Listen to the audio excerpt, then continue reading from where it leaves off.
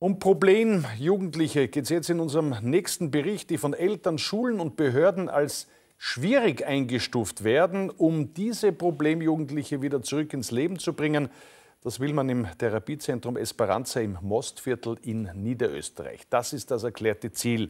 Mann, das sind zwölf Sozialarbeiter und Pädagogen, aber auch 70 Tiere. Ein privater Betrieb und ein neues Zuhause für zurzeit sieben Jugendliche.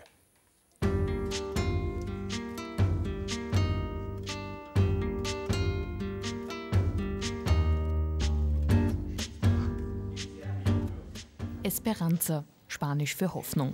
Das steht groß im Innenhof dieses Vierkanters. Ein Ort der Hoffnung für Kinder und Jugendliche, die aus ganz unterschiedlichen Gründen nicht mehr zu Hause leben können. Hier finden sie ein neues Zuhause in einer Art Großfamilie.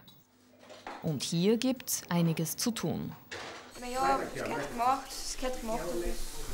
Eigentlich macht das der Küchendienst, aber das gehört, der Küchendienst nicht ist. Macht es also Laura. Seit Oktober lebt die 16-Jährige hier schwierige Kindheit und dann einfach meine Mama nicht mehr passt. Und hier scheint es nun zu passen. Ja. Mitverantwortlich dafür sind sie, die insgesamt 70 Tiere des Hofs. Und auch die haben, wie die Burschen und Mädchen selbst, eine Geschichte. Mir ist es auch ganz wichtig, jetzt nicht diese funktionierenden Therapietiere zu haben, sondern einfach auch Tiere zu haben, die ihre Macken haben, wo wir uns einfach als Menschen auch einfühlen müssen, schauen müssen, was ist denn mit dem Tier, warum, warum hat es jetzt gerade diese Ängste und warum reagiert so darauf und, und, und einfach auch damit umgehen lernen. Und es ist das Gleiche, was, was ich mit mir lernen muss und was ich aber auch mit anderen Menschen lernen muss.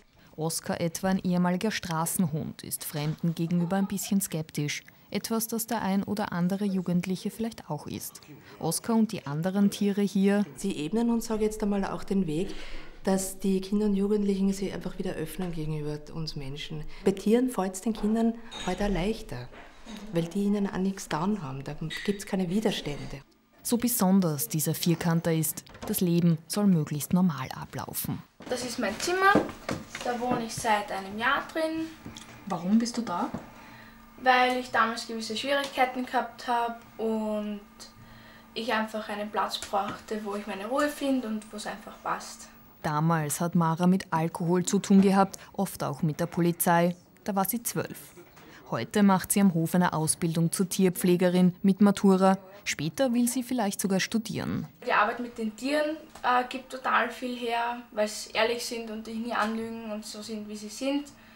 Und ähm, auch, auch einfach der Abstand zu, zu gewissen Dingen wie Freundeskreisen oder so, einfach, einfach was ganz anderes, was, was Neues einfach, wo da auch das so meine Chance war, sozusagen mein Leben neu anzufangen, was auch ziemlich gut funktioniert hat. Und das verdankt sie auch ihm, Wiebe. Er wäre übrigens zum Schlachter gekommen, wenn er hier kein neues Zuhause gefunden hätte. Wir sind uns ziemlich ähnlich in vielen Dingen, harte Schale, weicher Kern und, und, und er rübst auch ziemlich viel, das tue ich auch oft. Gell, Schatzi? Ja. Am Abend vor dem Schlafengehen ist sie oft noch hier, während Laura dann noch einmal zu ihren Schweinen schaut. Frieda und Ferdinand mit einem Betthupferl. Ja, die. Schaut.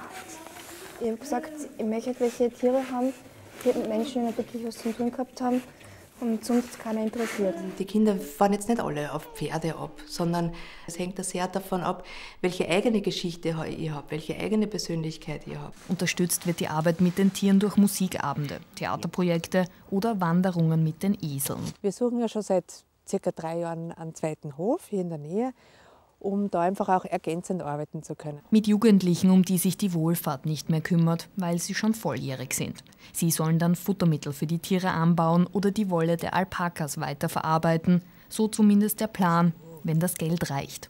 Der Hof ist nämlich eine private Einrichtung. Das Team bekommt von den Ämtern Tagessätze für die Jugendlichen und ein Verein kümmert sich um Spenden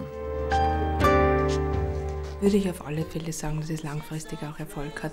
Nicht in allen Fällen. Das ist natürlich jetzt auch nicht die Wundertherapie mit Tieren. Es ist, geht einfach immer auch darum, was, was mache ich mit den Erfahrungen? Was mache ich daraus? Das ist dann letztendlich auch immer die Entscheidung vom Menschen selbst. Es ist fast eine eigene Welt, weil eben sonst nichts da ist. Also, aber man fühlt sich komplett geborgen da. Das muss ich ehrlich sagen, brauche ich. Weil früher war alles chaotisch und so weiter. Und jetzt da kann mich auf das verlassen.